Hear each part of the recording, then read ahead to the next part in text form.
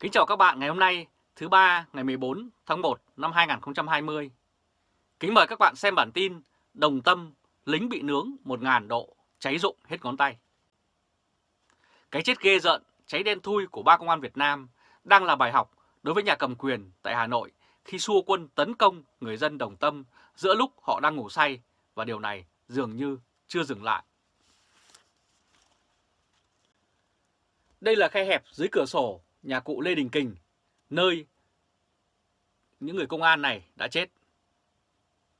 Lãnh đạo nào đã đẩy quân vào hầm tai vạ khi ra lệnh đánh úp Đồng Tâm vào đêm tối?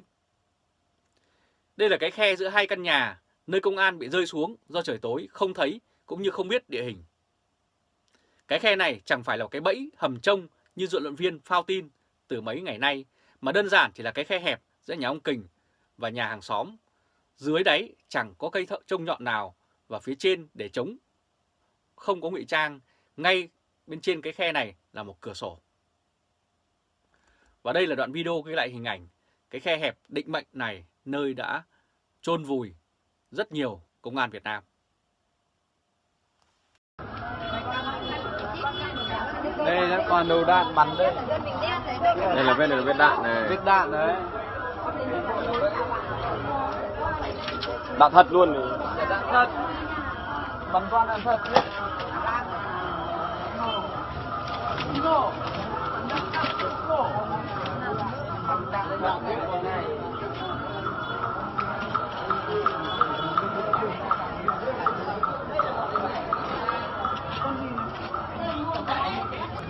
Nhặt tiền và đánh đây Bọn kia là chắc tưởng đây là cái cửa này. Một là cửa hai là tưởng không biết cái hồ này đâu chẳng nghĩ Không biết. Không biết cái hố này, không biết đây là cái hố cụt. lao đây luôn. nhảy nhảy sang đánh bên kia Chạm đông đứa nhảy. Đấy chưa? Đông đứa nhảy. cái gì Đông đứa mới lao sang để dạo một đô đảo nó alo xô biết. Chắc nó nhảy bên nhà chú. thế Nhảy từ bên đấy. chú bên nào? này nhảy đây nhà đây nhà Đây đây chú đây hả? Thì bây giờ nó nhảy sang thì mẹ nhiều lúc nó cuống ấy nó khỏe nó không còn là hụt chân nữa đây là đây là hoặc là nó Và những chiến sĩ công an này đáng lẽ họ phải bảo vệ nhân dân thì giờ đây đã bị những kẻ lạm quyền của Đảng và chính phủ Việt Nam giao cho nhiệm vụ tấn công nhằm thẳng nhân dân mà bắn. Và cuối cùng thì họ đã phải chết tức tưởi. Bản thân gia đình của họ đã mất đi người thân, con mất cha, vợ mất chồng, anh mất em và nhiều nỗi đau khác còn kéo dài.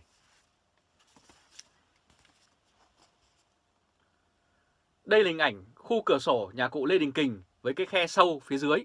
Và để gần lại các bạn sẽ thấy rất rõ những người dân của nhà cụ Lê Đình Kình đang đứng và nhìn xuống dưới cái khu và ở giữa là một cái lỗ.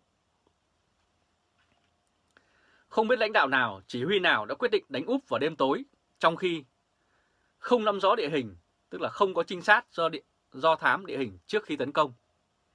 Cũng không trang bị cho các chiến sĩ công an thiết bị nhìn vào đêm.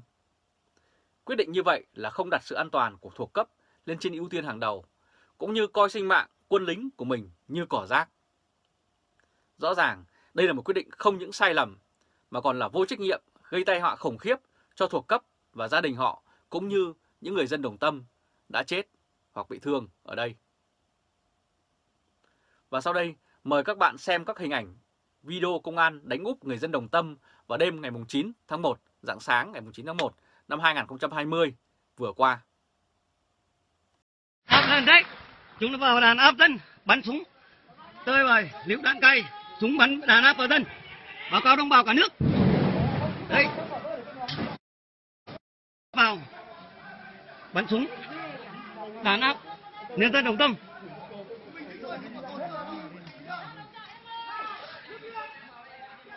Bà con hãy quyết tâm chiến đấu. Đến hơi thở cuối cùng. Đây cháy cả cột điện đây. Kệ. Không phải dập ấy chúng nó bắn hết xung quanh cả trong làng. Nhân dân đồng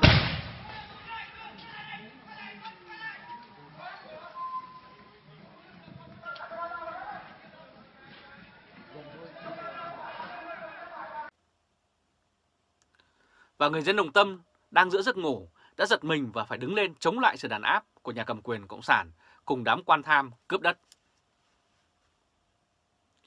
Đây là hình ảnh hố có công an Việt Nam đã chết cháy đen, người dân đã thả tiền xuống phía dưới và để gần lại các bạn thấy rất rõ những đồng tiền cụ hồ nằm ở dưới đáy của cái hố này và cháy đen ở phía dưới với nhiệt độ lên rất cao.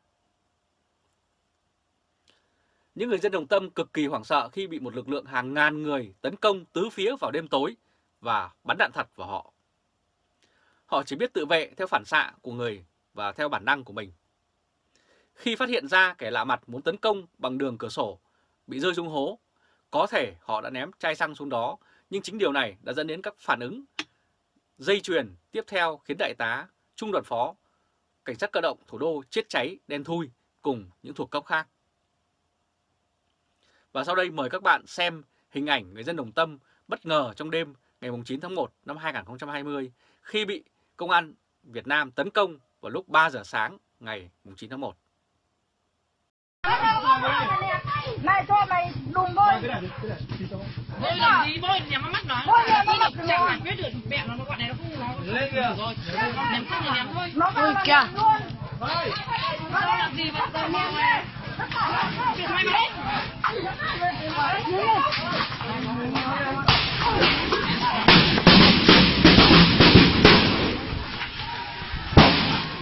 Bắn lại thôi. Và những xác chết của công an Việt Nam cháy đen, rùng rợn với những ngón tay bị rụng vì sức nóng hàng nghìn độ đã ám ảnh hàng triệu người dân Việt Nam trong và ngoài nước cũng như quốc tế đã chứng kiến điều này. Đây là hình ảnh công an Việt Nam đã chết cháy đen dưới khe sâu bên dưới cửa sổ nhà cụ Lê Đình Kình.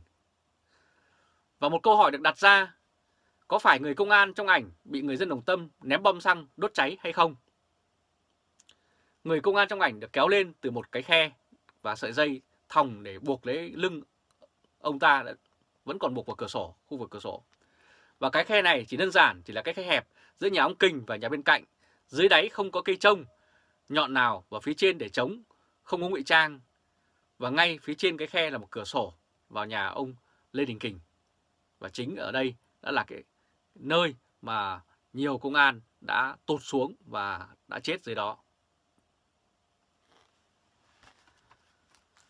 Và sức nóng hàng nghìn độ đã thiêu cháy đen mọi thứ, trong đó có những người công an đang hùng hổ nã đạn vào người dân vào buổi sáng sớm ngày 9 tháng 1 năm 2020.